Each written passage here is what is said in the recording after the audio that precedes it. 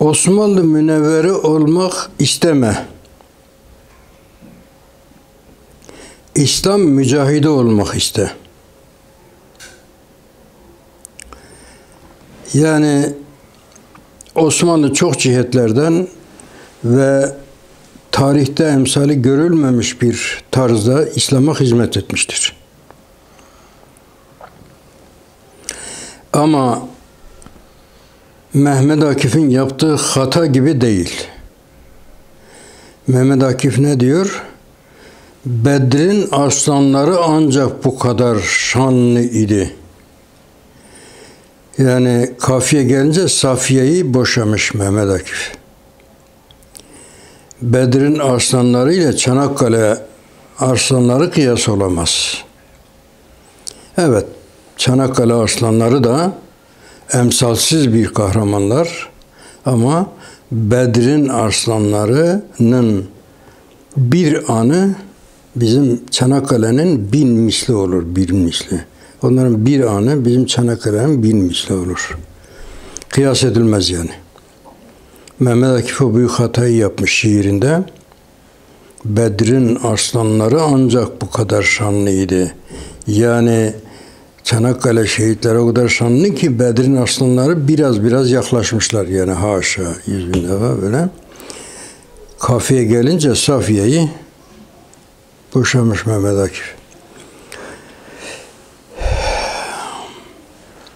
Zaman değişti, haller değişti, şekiller değişti.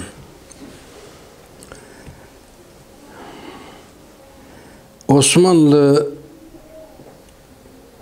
münevveri olmak yerine kendin İslam münevveri olmaya çalış. Taklit hiç hoş bir şey değil. Hiç. Yani taklit esastır ama yerini tespit ettikten sonra sahabeyi taklit etmek lazım. Resulullah'ı taklit etmek lazım. Tamam. Hazreti Bediüzzaman gibi her asırda bir tane gelen yüksek insanları taklit etmek lazım. Ama bu kadar. Çünkü onların hepsi asr-ı saadeti taklit ediyor.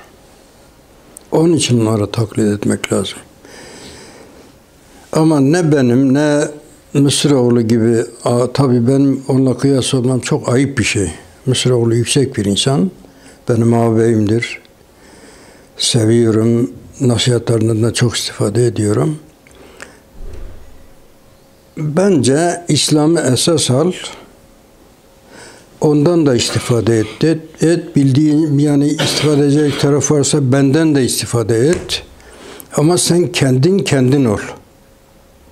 Şahsiyet kesbet.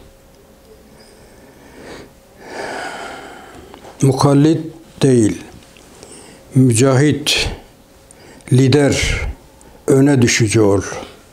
Sana tavsiyem bu. Bunun için Hazreti Bediüzzaman taklit edilmeye değer.